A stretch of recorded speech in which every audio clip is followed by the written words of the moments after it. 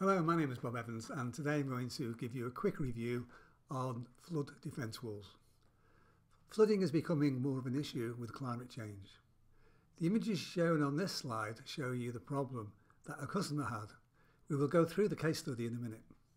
First of all, let's look at the design issues. A flood defence wall will fail in the standard retaining wall failure modes, overturning, slippage, shear but they can also fail from seepage and piping. Seepage is water slowly getting under the wall to the dry side and piping is when the flow is faster. The amount of seepage will depend on the soil porosity.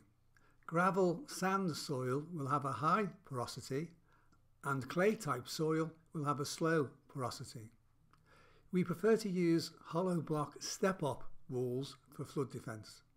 The cavity concrete seals the block joints and connects the wall to the foundation for the cantilever design.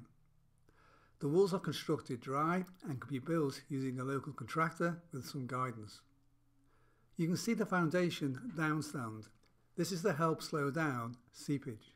You can learn more about Stepoc retaining walls on the Stepoc page on the website.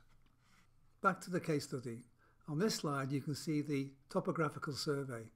We use the survey to work out the wall heights and lengths, then draw them up into a schedule. This slide shows a 3D sketch of the wall surrounding the house. This slide shows another example of a flood defence wall for a substation. The question everybody wants to know is how much does a retaining wall cost? To answer this question, we have created a retaining wall design and price guide. The guide details all the retaining walls on the website, provides a design guide to allow you to cost out the wall yourself, or you can use our cost table that we have developed. You can use the table to calculate a budget for your project.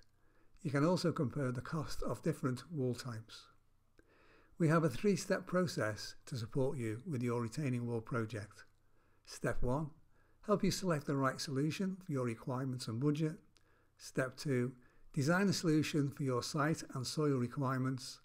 Step 3. Prepare material schedules to obtain competitive prices using our supply chain. The next step is to ask us questions and tell us about your project. We can then support you deliver it and probably save you some money. Thanks for listening. Bye for now.